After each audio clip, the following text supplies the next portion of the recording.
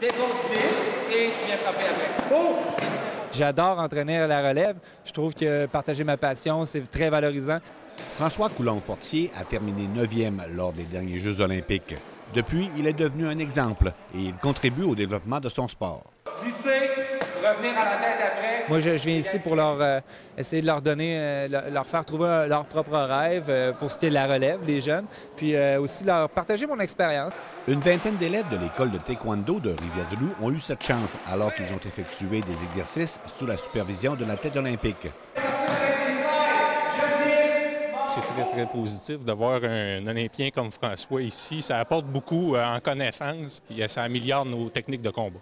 Le taekwondo véhicule des valeurs comme la discipline, la persévérance et la courtoisie. On doit être capable de tout faire en taekwondo pour pouvoir euh, performer. Hein. La flexibilité, ça nous prend de la force, ça nous prend une bonne rigueur à l'entraînement, de l'intensité aussi. J'aime ça, j'ai découvert ça quand j'étais genre 5 ans. Puis ça m'a fait bouger. J'aime beaucoup les sports contact. Puis aussi, ben, c'est du, du cardio.